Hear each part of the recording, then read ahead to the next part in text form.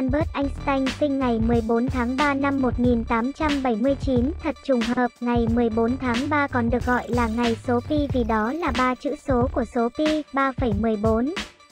Được biết đến là cha đẻ của vật lý hiện đại. Ông đã xuất bản một số lý thuyết khoa học quan trọng nhất của thế kỷ 20 và công trình của ông vẫn thúc đẩy nền vật lý mà chúng ta quan sát ngày nay. Trong khi Einstein có lẽ nổi tiếng nhất với phương trình E bằng mc2, trong suốt cuộc đời của mình, ông đã xuất bản gần 300 bài báo khoa học chính xác là 272.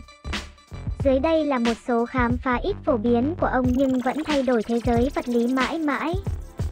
Chuyển động Brown Chuyển động Brown là chuyển động ngẫu nhiên của các hạt khả kiến do tương tác và va chạm với các nguyên tử xung quanh. Nhà thực vật học người Anh Robert Brown lần đầu tiên quan sát hiện tượng này khi nghiên cứu phấn hoa trong nước và nhận thấy nó di chuyển theo những cách kỳ lạ và bất ngờ. Do đó, Einstein đưa ra giả thiết rằng nếu các hạt nhỏ không nhìn thấy được tồn tại trong chất lỏng thì các hạt vô hình sẽ va chạm vào các hạt nhìn thấy được và khiến chúng chuyển động không nghỉ.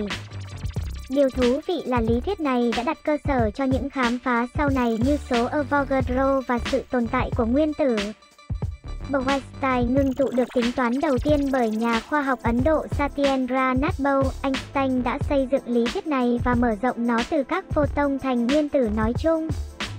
Khi các nguyên tử chịu nhiệt độ gần bằng độ không tuyệt đối, chúng sẽ kết tụ lại với nhau và hoạt động giống như một hạt đơn lẻ theo quan điểm vật lý, Einstein đề xuất.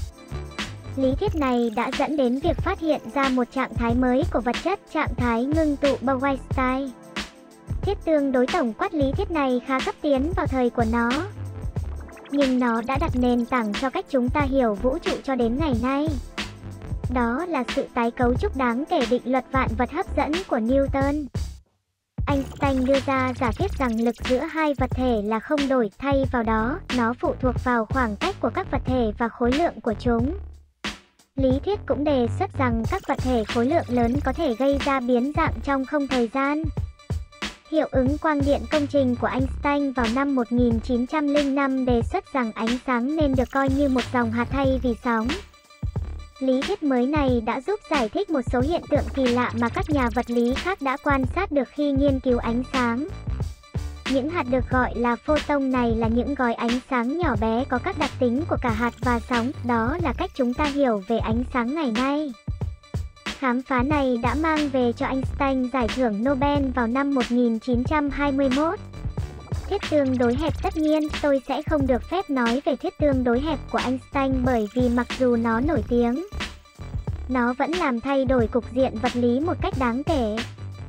Phương trình nổi tiếng năng lượng bằng khối lượng sao tốc độ ánh sáng hay giải thích tốc độ ảnh hưởng đến khối lượng.